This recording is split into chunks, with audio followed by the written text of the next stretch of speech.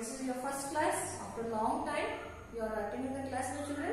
So, children, uh, let us today just discuss about the sentence. So, already have learnt in your uh, previous uh, class, isn't it? About the sentence and kinds of sentences, components of sentences, isn't it?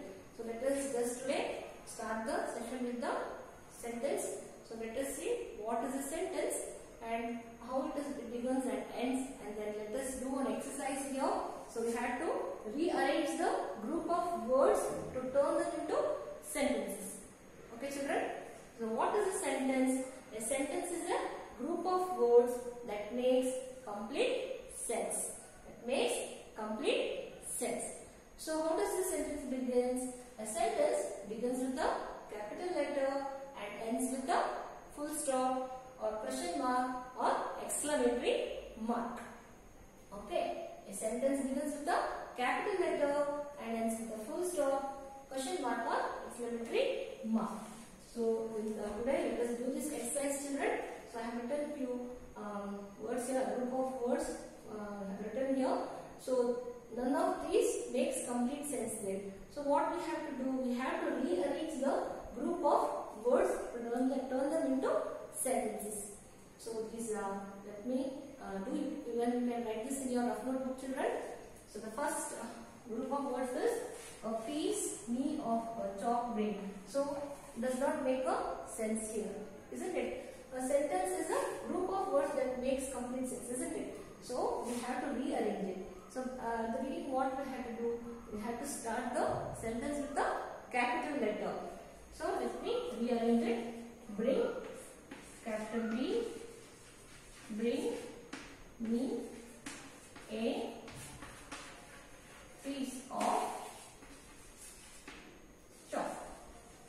Ends with the full stop here. Isn't it? So, now it makes a complete sense there. And then second one is, you did for go picnic. So, it does not uh, make any sense there. So, we have to rearrange it. So, again, begin with the capital letter did you go for a picnic? And ends with the so you are questioning mark here. So the question question mark you have to end the sentence with the question mark. Isn't it? So it makes a complete sense there. And the third one is wanted ball a child.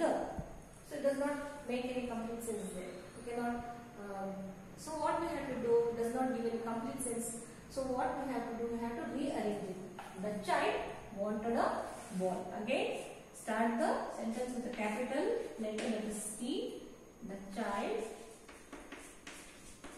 wanted a ball. A full stop. And the next one is night dark what uh, uh, is. So, you have to rearrange it again.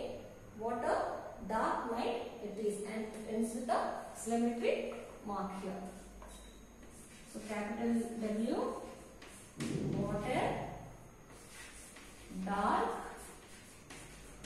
night it is.